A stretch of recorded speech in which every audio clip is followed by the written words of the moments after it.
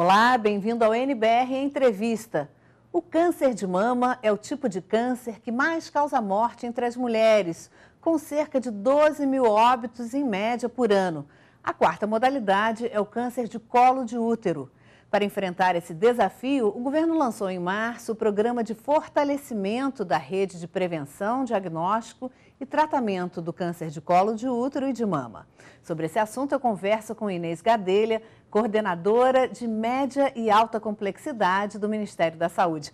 Obrigada pela sua presença, doutora Inês. Prazer, Lúcia. E a, a, agradeço a oportunidade que nos está dando de é, divulgar não é, esse, esse, essa iniciativa do governo federal e alcançar as mulheres, que somos nós que temos também de cuidar de nós. Né? Com certeza. Antes de falarmos do programa, é qual o panorama do câncer de mama no país? A gente fala de um depois de outro. É, o de câncer... mama e do, do colo de útero, se a senhora quiser. É, o câncer, o câncer de mama, é, dentro de, da sua distribuição nacional, como em outras, outras, outras atividades e, e, e situações no país, tem uma distribuição muito desigual.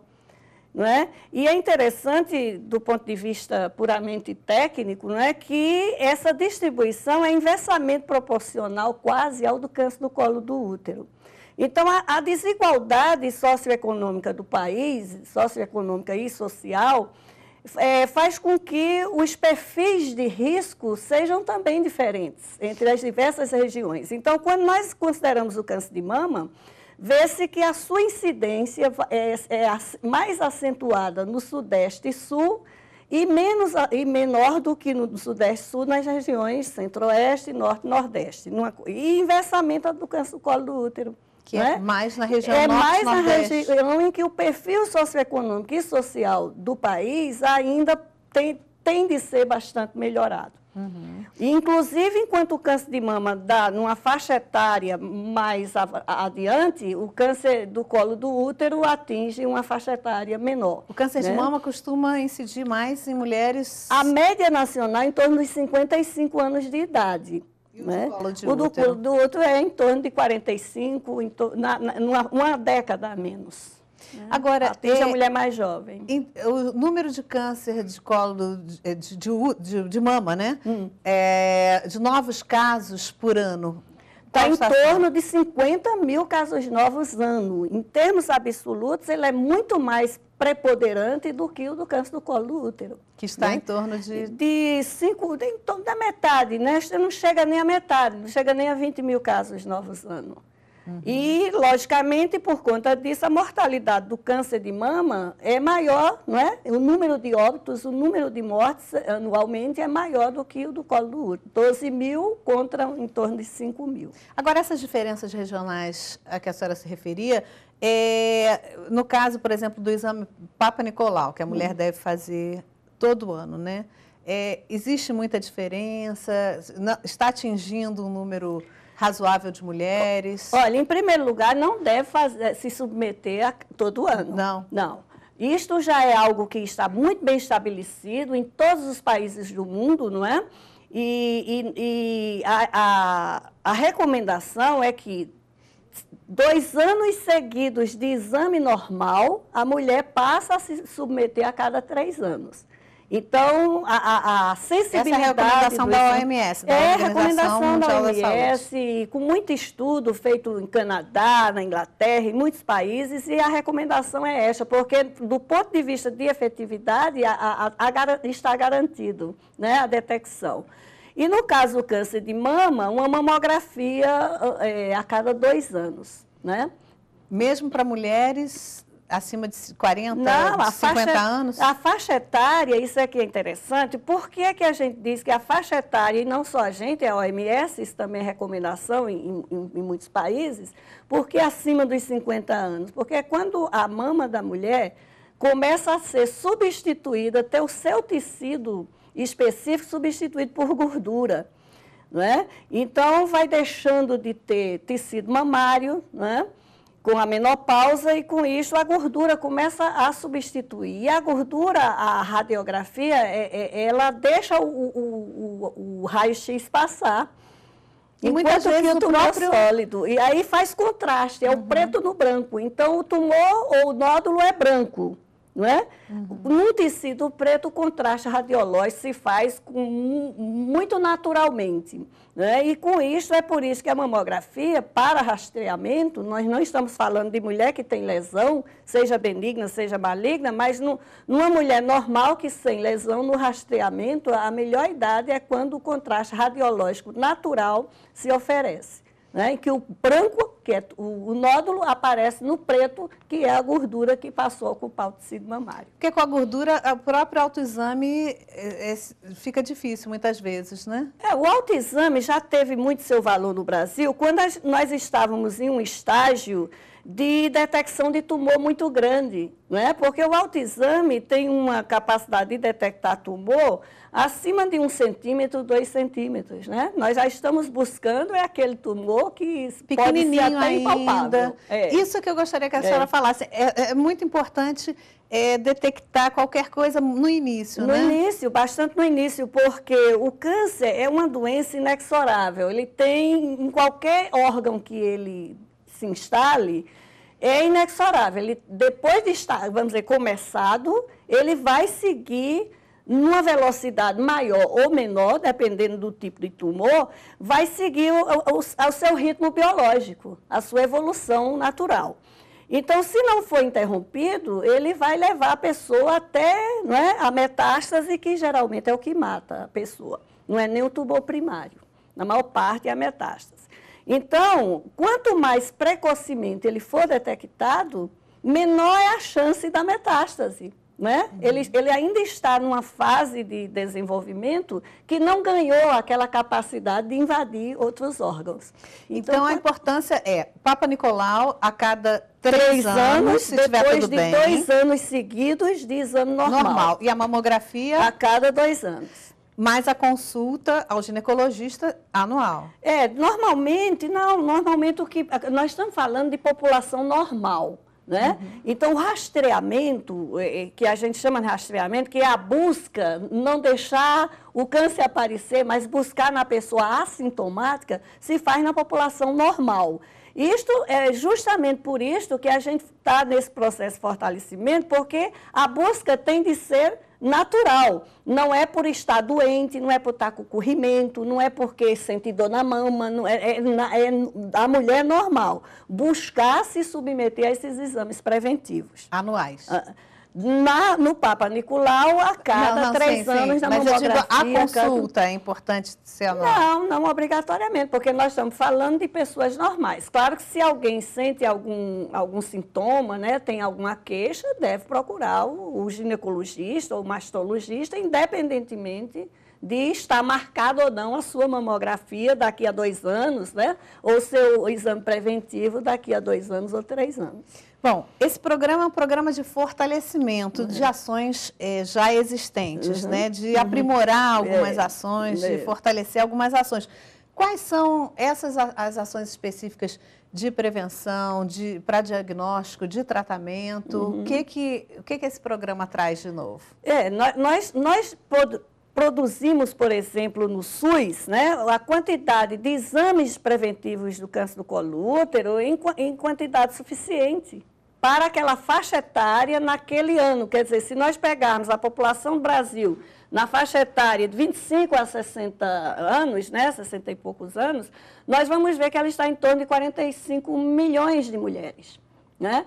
Então, fazendo aquele cálculo para cada três anos, daquela cobertura, nós precisamos em torno de 12 milhões de exames por ano, 11 milhões de exames. Nós já fazemos né, isto. Só mas que, acima da meta. Até. É, tá, é, mas acontece que o, o, foco na faixa etária é essencial, porque é nesta faixa etária que o exame é mais efetivo.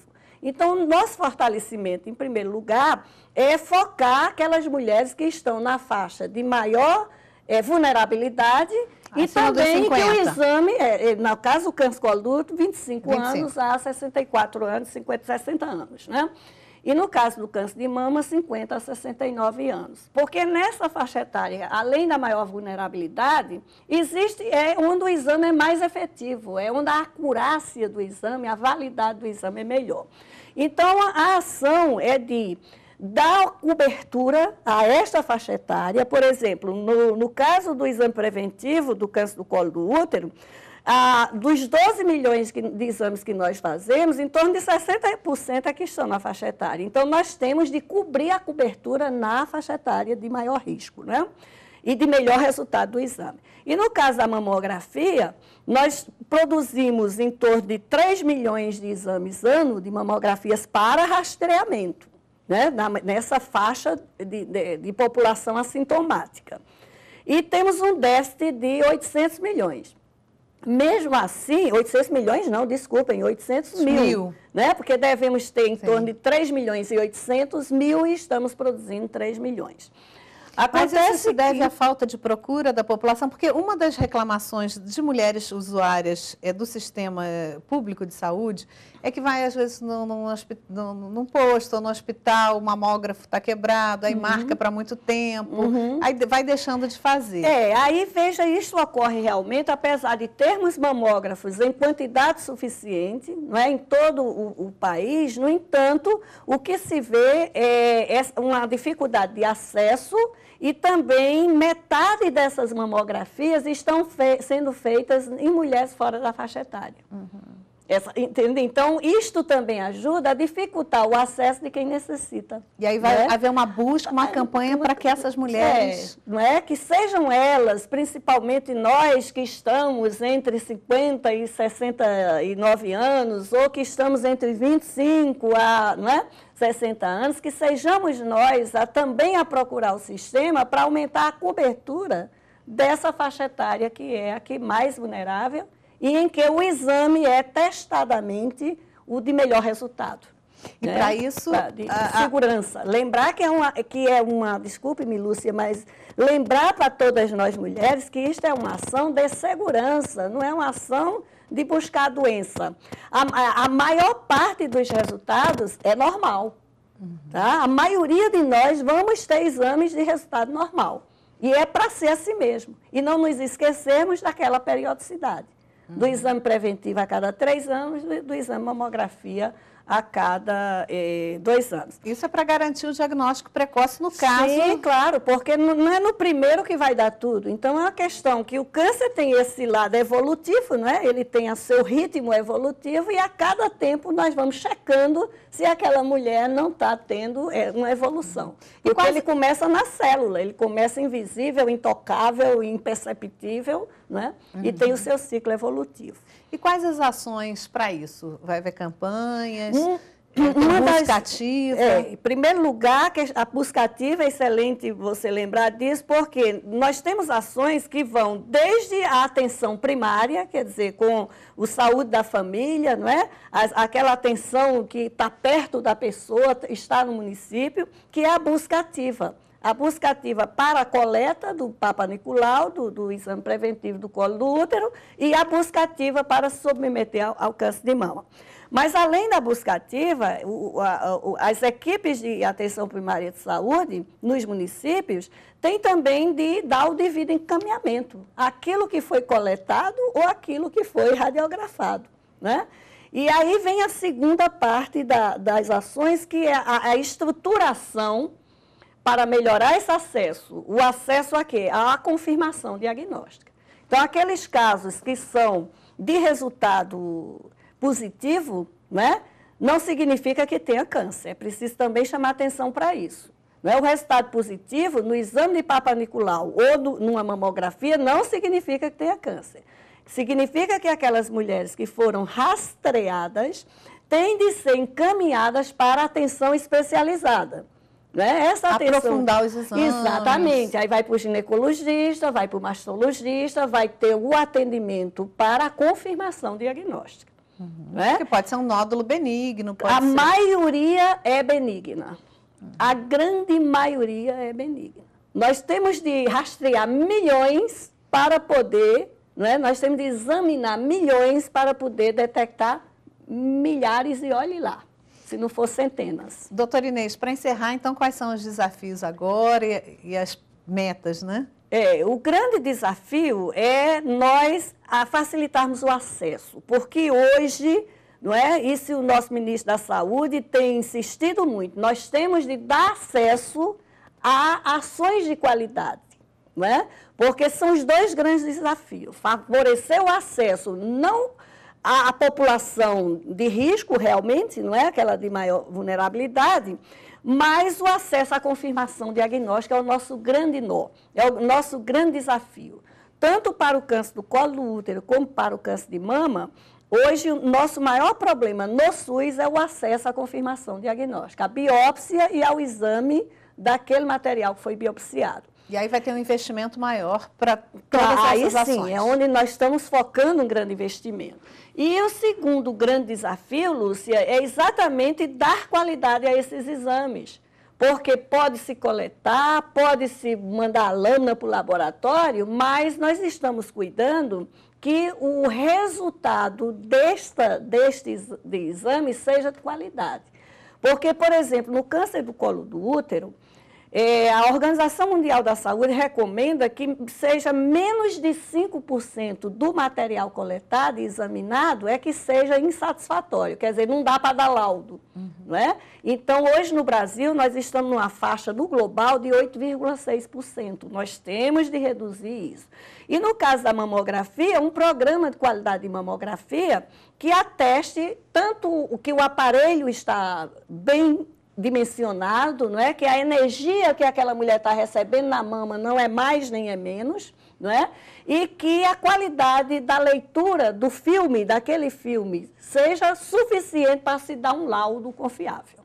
Então, eu resumiria assim para você que os nossos dois grandes desafios são acesso e qualidade. E é isso que o programa vai buscar. Investindo total com muito afinco e contando que a mulher brasileira, né, pense em si, coopere, e vai ter uma campanha também de imprensa, de mídia, para que, olha, tem que ser lembrada todo ano. Este ano é o seu ano de se submeter ao exame preventivo, é o seu ano de se submeter à mamografia, porque geralmente, como não se sente nada, a população assintomática acha que não, não é? E, mas isso é prevenção.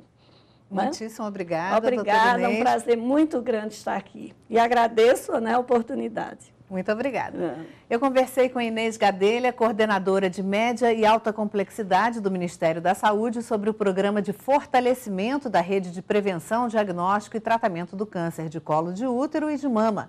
Se você quiser mais informações, acesse www.saude.gov.br. E você pode rever esta e outras entrevistas pela internet no www.youtube.com.br tvnbr. Obrigada pela sua companhia e continue com a gente. NBR e a TV do Governo Federal.